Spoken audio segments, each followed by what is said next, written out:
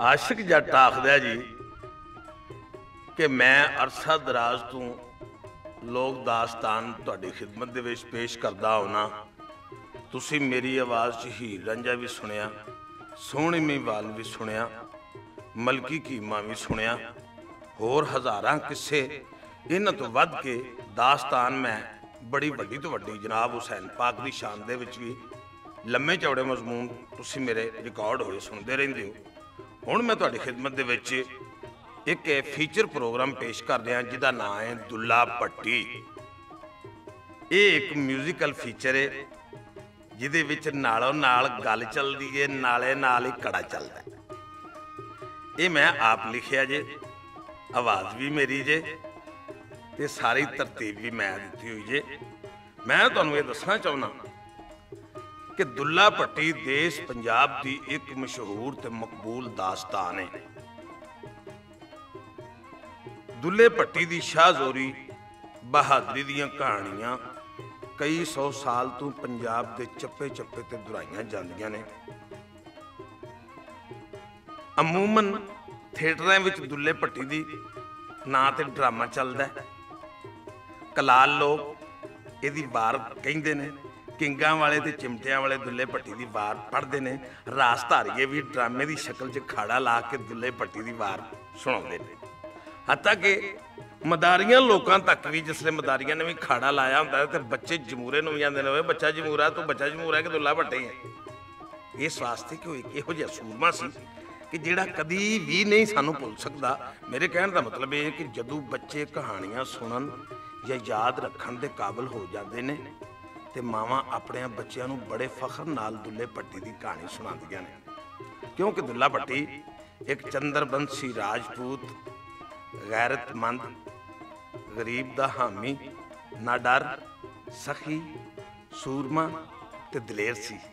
ਸੱਚ ਪੁੱਛੋ ਤੇ ਦੁੱਲਾ ਭੱਟੀ ਸਾਂਦਲਬਾਰ ਦਾ ਸ਼ੇਰ ਸੀ। ਸਾਂਦਲਬਾਰ ਦੁੱਲੇ ਭੱਟੀ ਦੇ ਦਾਦੇ ਸਾਂਦਲ ਭੱਟੀ ਦੇ ਨਾਂ ਤੋਂ ਮਸ਼ਹੂਰ ਹੈ ਸਾਂਦਲ ਭੱਟੀ ਵੀ ਇੱਕ ਗੈਰਤਮੰਦ ਨੌਜਵਾਨ ਸੀ ਸਹਿਬ ਇਮਾਨ ਸੀ। ਉਹਨੂੰ ਚੰਗੇ ਤੇ ਬੁਰੇ ਦੀ ਬੜੀ ਪਛਾਣ ਸੀ। ਗਰੀਬਾਂ ਤੇ ਕੰਗਾਲਾਂ ਦਾ ਨਿਗਹਿਬਾਨ ਸੀ, ਮੱਕੇ ਦਾ ਹਾਜੀ ਸੀ ਤੇ ਹਾਫਜ਼ ਕੁਰਾਨ ਸੀ। ਗੱਲ ਨੂੰ ਮੁਕਾਵਾਂ, ਸੰਦਲ ਪੱਕਾ ਮੁਸਲਮਾਨ ਸੀ, ਸੱਚ ਆਖਾਂ ਉਹਦੇ ਉੱਤੇ ਰੱਬ ਵੀ ਮਿਹਰਬਾਨ ਸੀ, ਸਾਊ ਸੀ। ਸੰਦਲ ਪੱਟੀ 12 ਪਿੰਡੀਆਂ ਦਾ ਸੁਲਤਾਨ ਸੀ। ਚਨਾ ਤੇ ਰਾਵੀ ਦੇ ਦਰਮਿਆਨ ਇਹਨਾਂ 12 ਪਿੰਡੀਆਂ ਨੂੰ ਸੰਦਲ ਬਾਰ ਆਖਦੇ ਨੇ। ਇਹ ਸੰਦਲ ਪੱਟੀ ਦੇ ਨਾਂ ਤੋਂ ਸੰਦਲ ਬਾਰ ਇਹਨੂੰ ਆਖਦੇ ਨੇ। ਇਹ ਦੁੱਲੇ ਪੱਟੀ ਦਾ ਦਾਦਾ ਸੀ ਜੀ। ਸੰਦਲ ਬਾਰ ਵਿੱਚ ਕਿਸੇ ਗਰੀਬ ਨੂੰ ਕੰਡਾ ਵੀ ਚੁੱਭਦਾ ਸੀ ਤੇ ਪੀੜ ਸੰਦਲ ਪੱਟੀ ਨੂੰ ਹੁੰਦੀ ਸੀ। ਰਾਵੀਓਂ ਪਾਰ ਲਾਹੌਰ ਦੇ ਉੱਚੇ ਬੁਰਜ ਸੰਦਲ ਬਾਰ ਦੀਆਂ 12 ਪਿੰਡੀਆਂ ਨੂੰ ਆਪਣੇ ਪਰਛਾਵੇਂ ਦੀ ਲਪੇਟ 'ਚ ਲੈਣਾ ਚਾਹੁੰਦੇ ਸਨ। ਮੁਗਲਾਂ ਦਾ ਦੌਰ ਸੀ। ਮੁਗਲਾਂ ਦੇ ਸਿਪਾਹੀ ਰਾਵੀ ਪਾਰ ਕਰਕੇ, ਲੁੱਟ ਮਾਰ ਕਰਕੇ ਵਾਪਸ ਲਾਹੌਰ ਅੱਪੜ ਜਾਂਦੇ ਸਨ। ਲੁੱਟੇ ਪੁੱਟੇ ਹੋਏ ਲੋਕ ਸੰਦਲ ਪੱਟੀ ਕੋਲ ਜਾਂਦੇ, ਆਪਣਾ ਸਾਰਾ ਹਾਲ ਸੁਣਾਉਂਦੇ।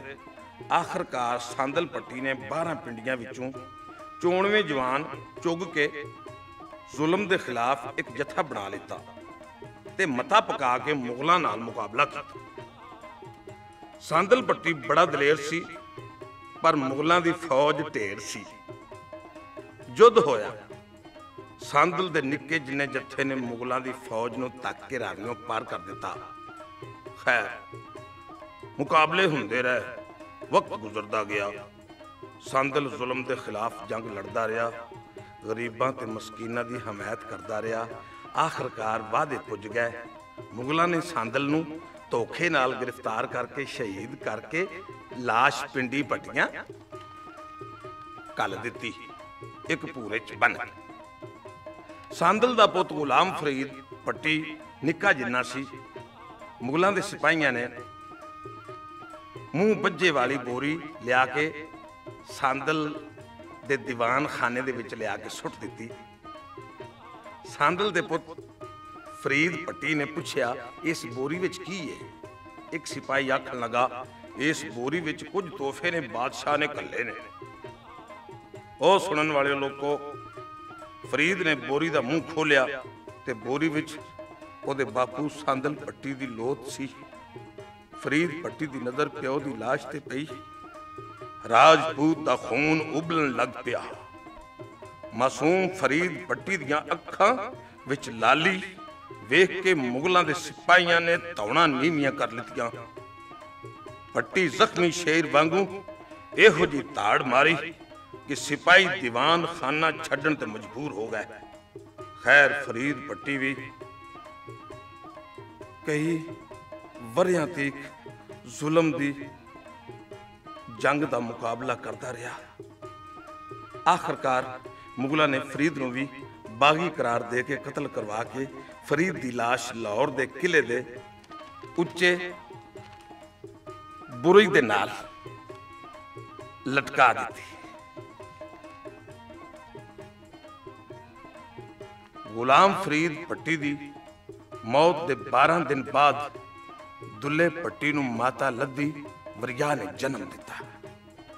ਮਾਤਾ ਲੱਦੀ ਨੇ ਦੁੱਲੇ ਪੱਟੀ ਨੂੰ ਦਰਿਆ ਚ ਨਾਂ ਦੇ ਹਰ ਕਿਸਮ ਦੇ ਮੇਵੇ ਖਵਾ ਕੇ ਪਾਲਿਆ ਲੱਦੀ ਵਰਿਆ ਨੇ ਪਿੰਡੀ ਪੱਟੀਆਂ ਦੇ ਸਾਰੇ ਲੋਕਾਂ ਤੇ ਪਹਿਲੇ ਹੀ ਪਾਬੰਦੀ ਲਾਈ ਹੋਈ ਸੀ ਕਿ ਕੋਈ ਬੰਦਾ ਜਾਂ ਔਰਤ ਮੇਰੇ ਪੁੱਤ ਦੁੱਲੇ ਭੱਟੀ ਨੂੰ ਮੁਗਲਾਂ ਦੇ ਵੈਰ ਬਾਰੇ ਕੋਈ ਨਾ ਦੱਸੇ। ਦੁੱਲਾ ਭੱਟੀ ਜਵਾਨ ਹੋਇਆ। ਮਾਤਾ ਲੱਦੀ ਨੇ ਆਪਣੇ ਖਾਨਦਾਨ ਵਿੱਚੋਂ ਮੁਟਿਆਰ ਫੁੱਲਰਾਂ ਨਾਲ ਦੁੱਲੇ ਦਾ ਵਿਆਹ ਕੀਤਾ। ਦੁੱਲਾ ਭੱਟੀ ਆਪਣੇ ਪਿਓ ਦਾ ਦੀਵਾਨ ਖਾਨਾ ਸੰਭਾਲਿਆ। ਬਹਿਣ ਲੱਗ ਪਿਆ। ਮੇਰੂ ਪੋਸਤੀ ਦੁੱਲੇ ਦਾ ਬਚਪਨ ਦਾ ਯਾਰ ਸੀ। ਮੂੰਹ ਬੋਲਿਆ ਭਰਾ ਸੀ। ਦੁੱਲੇ ਪੱਟੀ ਤੇ ਸੋਹਣੀ ਜਵਾਨੀ ਸੀ। ਜਦ ਕੋਈ ਵਡੇਰਾ ਬੰਦਾ ਬੁੱਢੀ ਦੁੱਲੇ ਨੂੰ ਵੇਖਦੇ ਤੇ ਮੂੰਹੋਂ ਜ਼ਰੂਰ ਨਿਕਲ ਜਾਂਦਾ, ਕੋਈ ਆਖਦਾ ਪਿਓ ਵਰਗਾ ਹੈ, ਕੋਈ ਆਖਦਾ ਦਾਦੇ ਵਰਗਾ ਹੈ। ਮਾਂ ਦਾ ਦਿਲ ਬੜਾ ਨਾਜ਼ੁਕ ਹੁੰਦਾ ਸੁਣਨ ਵਾਲੇ ਲੋਕੋ, ਲੱਦੀ ਸਮਝਦਾਰ ਸੀ। ਖਾਨਦਾਨੀ ਦੁਸ਼ਮਣੀ ਦਾ ਮਜ਼ਾ ਚੱਕ ਚੁੱਕੀ ਸੀ। ਉਹ ਲੋਕਾਂ ਅੱਗੇ ਤਰਲੇ ਤੇ ਮਿੰਤਾਂ ਕਰਦੀ ਰਹਿੰਦੀ ਕਿ ਮੇਰੇ ਪੁੱਤ ਨੂੰ ਦੁਸ਼ਮਣੀ ਦਾ ਪਤਾ ਨਾ ਲੱਗੇ। ਆਖਰਕਾਰ ਦੁੱਲੇ ਪੱਟੀ ਨੂੰ ਪਿਓ ਦਾਦੇ ਦੀ ਮੌਤ ਦਾ ਪਤਾ ਲੱਗ ਗਿਆ। ਦੁੱਲਾ ਜਵਾਨ ਉਦਾਸ ਰਹਿਣ ਲੱਗ ਪਿਆ। ਮੁਗਲਾਂ ਦੇ ਫੌਜੀ ਦਸਤੇ ਪਿੰਡੀ ਪੱਟੀਆਂ ਦੇ ਨੇੜਿਓਂ ਤੇੜਿਓਂ ਲੰਘਦੇ ਸਾਂ। ਇੱਕ ਦਿਨ ਦੁੱਲੇ ਸ਼ੇਰ ਨੇ ਮੁਗਲਾਂ ਦਾ ਇੱਕ ਕਾਫਲਾ ਡੱਕ ਕੇ ਲੁੱਟ ਲਿਆ। ਤੇ ਮਾਲ ਗਰੀਬਾਂ ਵਿੱਚ ਤਕਸੀਮ ਕਰ ਦਿੱਤਾ। 12 ਪਿੰਡੀਆਂ ਦੀਆਂ ਕਰਾੜਾਂ ਸਾਹੂਕਾਰਾਂ ਤੇ ਗੱਦਾਰਾਂ ਦੀਆਂ ਨੀਂਦਰਾਂ ਹਰਾਮ ਹੋ ਗਈਆਂ। ਉਹਨਾਂ ਨੇ ਦੁੱਲੇ ਪੱਟੀ ਦੀ ਮੁਖਾਲਫਤ ਸ਼ੁਰੂ ਕਰ ਦਿੱਤੀ। ਦੁੱਲੇ ਜਵਾਨ ਨੇ ਆਪਣੇ ਪਿਓ, ਦਾਦੇ ਦੇ ਕਤਲ ਦੇ ਭਾਈ ਵਾਲਾ ਨੂੰ ਚੁਣ ਚੁਣ ਕੇ ਮਾਰਿਆ। ਸੰਦਲ ਬਾਰ ਵਿੱਚ ਦੁੱਲੇ ਪੱਟੀ ਦੀ ਧੁੰਮ ਪੈ ਗਈ। ਇੱਕ ਦਿਨ ਦੁੱਲਾ ਜਵਾਨ ਆਪਣੇ ਦੀਵਾਨ ਖਾਨੇ ਵਿੱਚ ਬੈਠਾ ਹੋਇਆ ਸੀ। ਦੁੱਲੇ ਦੀ ਮਾਂ ਲੱਦੀ ਦੀਵਾਨ ਖਾਨੇ ਦੇ ਬੂਹੇ ਤੇ ਆ ਕੇ ਆਵਾਜ਼ ਮਾਰ ਕੇ ਆਖਦੀ ਏ, ਦੁੱਲਿਆ, ਵੇ ਦੁੱਲਿਆ, ਦੁੱਲਾ ਜਵਾਨ ਆਖਦਾ, ਕੌਣ ਏ? ਲੱਦੀ ਅੰਦਰ ਆ ਜਾਂਦੀ ਏ। ਦੁੱਲਾ ਮੂਹਰੇ ਤੋਂ ਉੱਠ ਕੇ ਖਲੋ ਗਿਆ, ਆਖਣ ਲੱਗਾ, ਕੀ ਗੱਲ ਏ ਮਾਂ? ਇਹ ਮਰਦਾਂ ਦੀ ਮਹਿਫਲ ਏ। ਇੱਥੇ ਕੀ ਲੈਣ ਆਈ ਏ? ਦੁੱਲਿਆ ਮੈਂ ਤੈਨੂੰ ਇੱਕ ਸੁਨੇਹਾ ਦੇਣ ਆਈ ਆ। ਮੈਂ ਇੱਕ ਖਾਬ ਵੇਖਿਆ ਬੱਚਾ। ਬੜਾ ਭੈੜਾ ਖਾਬ ਹੈ ਦੁੱਲਾ ਆਖਣ ਲਗਾ, ਖਾਬ ਖਿਆਲ ਹੁੰਦਾ ਮਾਂ। ਨਹੀਂ ਵੇ ਦੁੱਲਿਆ, ਕੋਈ ਕੋਈ ਖਾਬ ਸੱਚਾ ਵੀ ਹੋ ਜਾਂਦਾ ਹੈ। ਮਾਂ, ਤੂੰ ਆਖਣਾ ਕੀ ਚਾਹਨੀ ਹੈ ਹਲਾ ਭਾਈ ਮਾਤਾ ਲੱਦੀ ਦੁੱਲੇ ਨੂੰ ਕੀ ਜਵਾਬ ਦਿੰਦੀ ਹੈ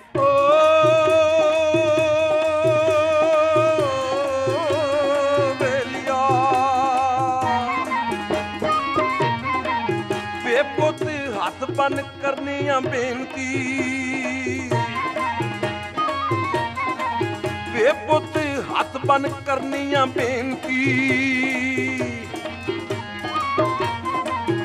ਵੇ ਮੈਂ ਸੱਚੀਆਂ ਦੇਵਾਂ ਸੁਣਾ ਓਏ ਵੇ ਮੈਂ ਰਾਤੀ ਸੁਪਨਾ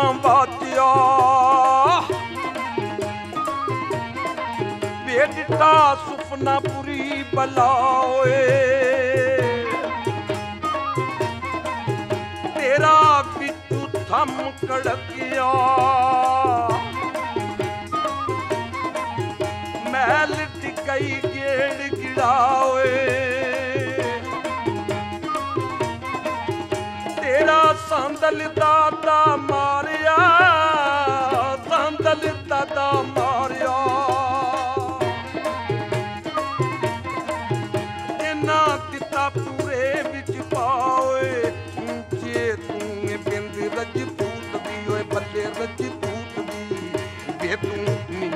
ਘੜੀ ਓਏ ਲੰਘਾਓਏ ਹੋਏ ਓਏ ਪੁੱਤ ਦੁੱਲਿਆ ਹਾ ਹਾ ਹਾ ਹਾ।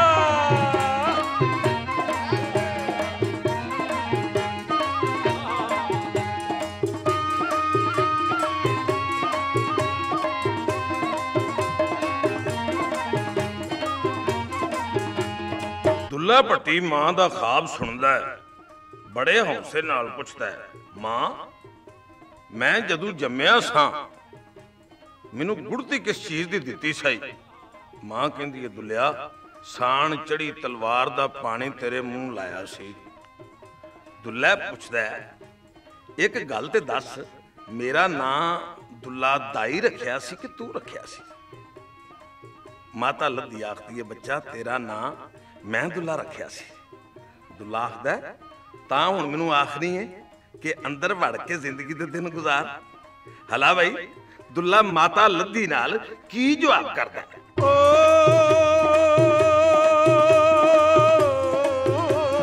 ਦੁੱਲਾ ਉਹ ਲੋਕੋ ਮੁਖ ਤੀ ਬੋਲਦਾ। ਲੋਕੋ ਮਾਤਾ ਨੂੰ ਕਹੇ ਠਕੋਰ ਓਏ। ਮੇਰਾ ਨਾ ਤੁੱਲਾ ਨਾ ਰੱਖ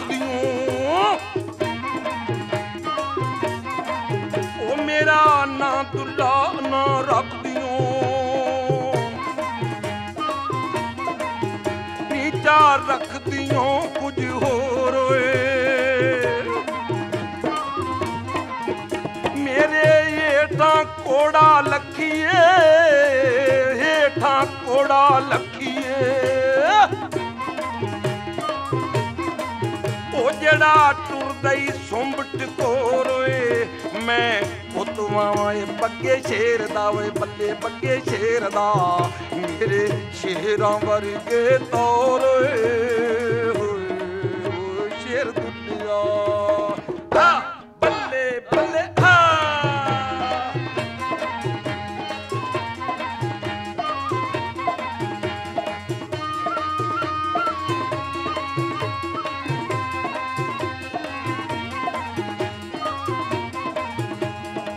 ਦੁੱਲੇ ਦੀ ਮਾਂ ਘਰ ਚਲੀ ਜਾਂਦੀ ਏ, ਪਰ ਮਾਂ ਦਾ ਦਿਲ ਅਨਹੋਣੀ ਦੇ ਡਰ ਤੋਂ ਧੜਕਦਾ ਰਿਹਾ।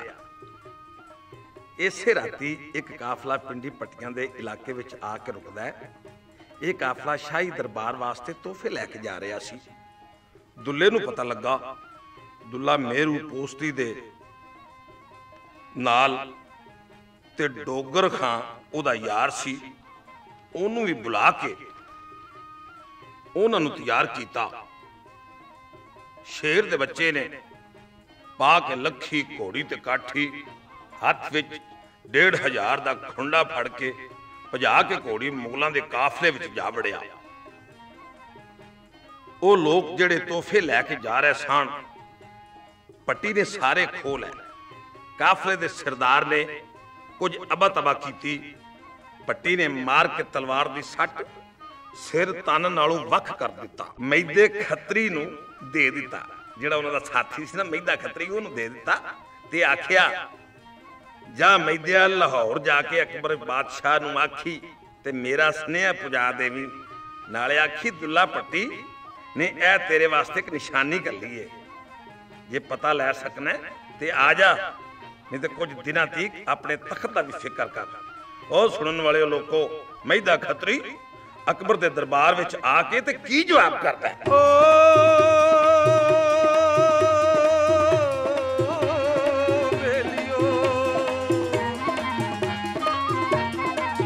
ਲੋਕੋ ਮੈਤਾ ਜਾ ਕੇ ਕੂਕਿਆ। ਉਹ ਲੋਕੋ ਅਕਬਰ ਦੇ ਦਰਬਾਰ ਓਏ। ਇੱਕ ਜੰਮਿਆ ਪਿੰਡੀ ਵਿੱਚ ਸੂਰਮਾ। ਓ ਮਾਈ ਲੱਦੀ ਤੇ ਕਰ ਲਾਲ ਓਏ। ਉਹਨੇ ਲੁੱਟ ਕੇ ਖਾਲੀਆਂ ਡਾਲੀਆਂ, ਲੁੱਟ ਕੇ ਓਏ ਖਾਲੀਆਂ ਡਾਲੀਆਂ। ਪੱਟੀ ਖੋ ਕੇ ਖਾ ਗਿਆ ਮਾਲ ਓਏ। ਉਹਦੇ ਜੰਮਣ ਨੂੰ ਰੋਮਨ ਰਾਣੀਆਂ ਬਾਈ ਬੱਲੇ ਬੱਲੇ ਰਾਣੀਆਂ ਵਿੱਚ ਹੱਡੀਆਂ ਰੋਣ ਕਰਾੜ ਓਏ।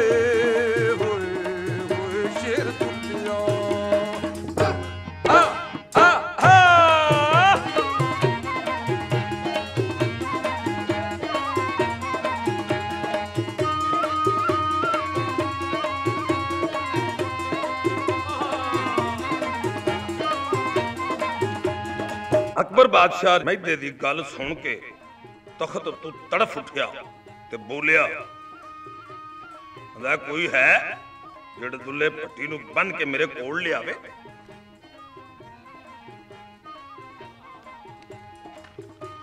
ਸਾਰਿਆਂ ਦਰਬਾਰੀਆਂ ਨੇ ਧੌਣਾ ਨੀਵੀਆਂ ਕਰ ਲਿੱਤੀਆਂ।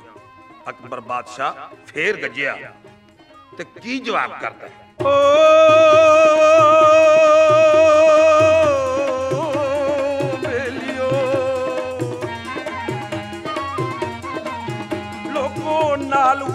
ਗੁੱਸੇ ਦੇ। ਬੋਲਦਾ ਬਾਦਸ਼ਾਹ ਸਪਨਾ ਨੂੰ ਕਹਿੰਦਾ, ਉਹ ਲੋਕੋ ਹੈ ਕੋਈ ਇੱਥੇ ਸੂਰਮਾ।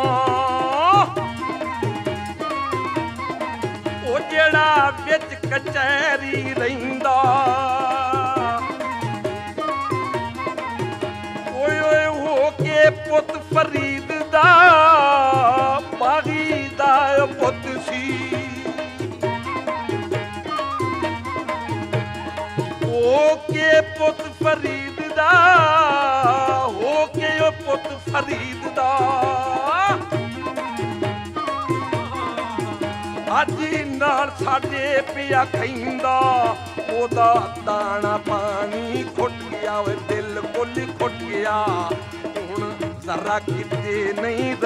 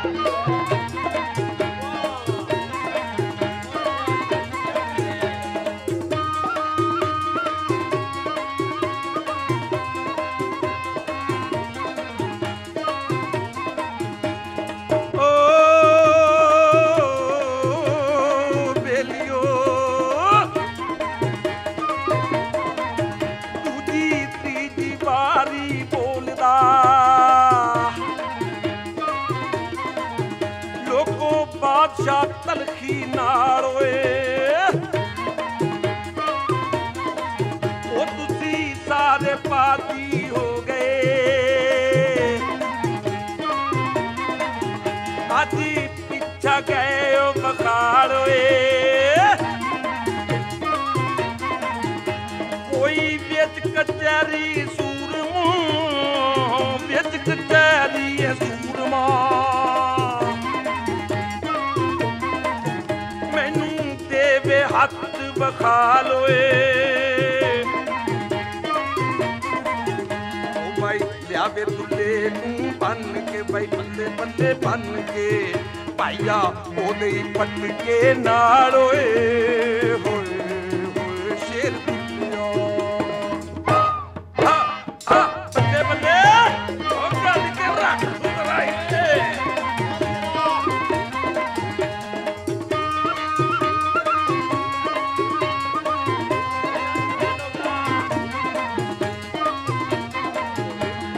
ਇਹ ਗੱਲਾਂ ਹੋ ਰਹੀਆਂ ਸਨ ਕਿ ਕਸੂਰ ਦਾ ਮਿਰਜ਼ਾ ਨਿਜ਼ਾਮਦੀਨ ਕੰਧਾਲੇ ਦਾ ਕਿਲਾ ਫਤਹ ਕਰਕੇ ਦਰਬਾਰ ਵਿੱਚ ਆਇਆ, ਦਰਬਾਰ ਵਿੱਚ ਆ ਕੇ ਵੇਖਿਆ ਕਿ ਸਾਰੇ ਲੋਕ ਚੁੱਪਚਾਪ ਬੈਠੇ ਨੇ, ਕੋਈ ਗੱਲ ਨਹੀਂ ਕਰਦਾ। ਅਕਬਰ ਬਾਦਸ਼ਾਹ ਵੀ ਗੁੱਸੇ ਨਾਲ ਅੱਗ ਬਗੂਲਾ ਹੋਇਆ ਪਿਆ ਹੈ। ਮਿਰਜ਼ੇ ਨਿਜ਼ਾਮਦੀਨ ਨੇ ਸਲਾਮ ਕੀਤਾ। ਬਾਦਸ਼ਾਹ ਨੇ ਖੁਸ਼ ਆਮਦੀਦ ਆਖਿਆ ਆਖਿਆ, ਤੈਨੂੰ ਅਸੀਂ ਮੁਬਾਰਕਬਾਦ ਦਿੰਨੇ ਆ। ਤੂੰ ਕਿਲਾ ਫਤਹ ਕਰਕੇ ਆਇਆ। ਔਰ ਨਾਲ ਹੀ ਤੈਨੂੰ ਪਿੰਡੀ ਪਟੀਆਂ ਜਾਣ ਦਾ ਹੁਕਮ ਦਿੰਨੇ ਆ। ਉਹ ਆਖਣ ਲਗਾ, ਜੀ ਪਿੰਡੀ ਪਟੀਆਂ ਕੀ ਕੰਮ ਏ? ਬਾਗੀ ਫਰੀਦ ਖਾਨ ਦਾ ਬੇਟਾ ਦੁੱਲਾ ਭੱਟੀ, ਉਹਨੇ ਸਾਡੀ ਗੈਰਤ ਨੂੰ ਲਲਕਾਰਿਆ। ਮਿਰਜ਼ਾ ਕਹਿੰਦਾ ਮਤਲਬ ਇਹ ਹੋਇਆ ਕਿ ਅਸਾਂ ਸੱਪ ਮਾਰ ਦਿੱਤਾ ਸੀ ਤੇ ਸਪੋਲੀਆ ਛੱਡ ਦਿੱਤਾ ਸੀ। ਅਲੀ ਜਾ, ਮੈਂ ਇਹਨਾਂ ਕਦਮਾਂ ਤੋਂ ਹਟ ਜਾਣਾ ਔਰ ਦੁੱਲੇ ਭੱਟੀ ਨੂੰ ਕੈਦ ਕਰਕੇ ਤੁਹਾਡੇ ਸਾਹਮਣੇ ਲੈ ਕੇ ਆਵਾਂਗਾ। ਹਲਾ ਭਾਈ ਮਿਰਜ਼ੇ ਨਿਜ਼ਾਮਦੀਨ ਨੇ ਕਿਵੇਂ ਚੜ੍ਹਾਈ ਕੀਤੀ ਓ ਬੇਲੀਓ। ਲੋਕੋ ਚੜ ਪਿਆ ਮਿਰਜ਼ਾ ਨਿਜ਼ਾਮਦੀਨ। ਲੋਕੋ, ਸੱਤ ਪੰਜ ਪੈ ਗਈ ਏ ਦੂਰ ਓਏ। ਉਹ ਲੋਕੋ, ਤੱਤੇ ਤਾ ਮੁਹੱਬਤਾਂ। ਲੋਕੋ, ਹਾਥੀ ਲੈ ਸੰਦੂਰ ਓਏ। ਓਏ, ਮੁਗਲਾਂ ਨੇ ਮੁੱਛਾਂ ਮਰੋੜੀਆਂ। ਜਾਣਾ ਅੱਜ ਜ਼ਰੂਰ ਓਏ ਲੋਕੋ, ਮੁਗਲਾਂ ਨੇ ਮੁੱਛਾਂ ਮਰੋੜੀਆਂ, ਮੁਗਲਾਂ ਨੇ ਮੁੱਛਾਂ ਮਰੋੜੀਆਂ। ਜਾਣਾ ਪਿੰਡੀ ਅੱਜ ਜ਼ਰੂਰ ਓਏ ਅਸੀਂ ਜਾਵਾਂਗੇ ਦੁੱਲੇ ਦੀਆਂ ਮਾੜੀਆਂ, ਭਾਈ ਬੱਲੇ ਬੱਲੇ ਮਾੜੀਆਂ। ਓਏ, ਕਰਾਂਗੇ ਚੱਕਨਾ ਚੂਰ ਓਏ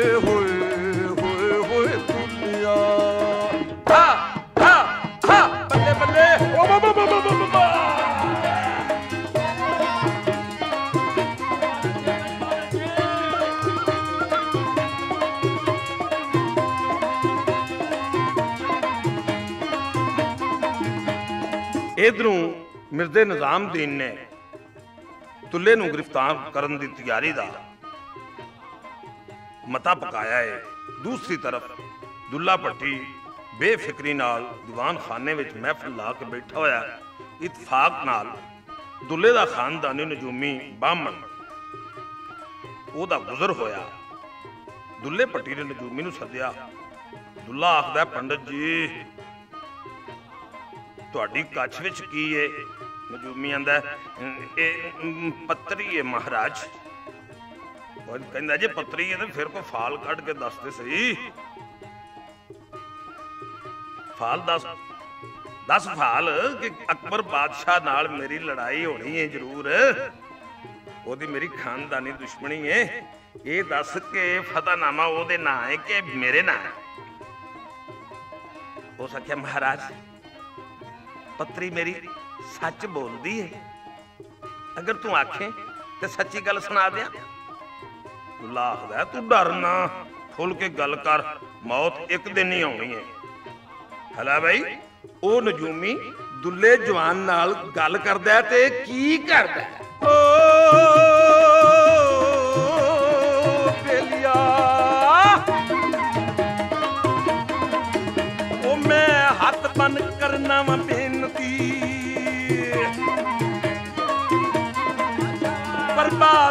ਸੱਚੀਆਂ ਦੇਵਾਂ ਸੁਣਾ ਓਏ। ਮੇਰੇ ਕਾਂਚੀ ਕਰਤ ਦੇ ਪੱਤਰੇ। ਮੇਰੇ ਹੱਥੀ ਗਏ ਨੀ ਆਓਏ। ਜੇ ਮੇਰੀ ਪਤਰੀ ਏ ਝੂਠ ਬੋਲਦੀ ਉਹਦੇ ਪਾਣੀ ਦੇ ਦੀਆਂ ਰੁੜਾਓਏ ਓਏ, ਫੌਜਾਂ ਬਾਦਸ਼ਾਹ ਦੀਆਂ ਚੜ ਕੇ। ਉਹ ਪਤਿਆ ਇੱਥੇ ਜਾਣੀਆਂ ਨੀ ਆਓਏ ਓਏ, ਅੱਠ ਦਿਨ ਤੈਨੂੰ ਹਾਰ ਦੇ ਦੁਲਿਆ ਦੁਲਿਆ ਅੱਠ ਦਿਨ ਤੈਨੂੰ ਹਾਰ ਦੇ।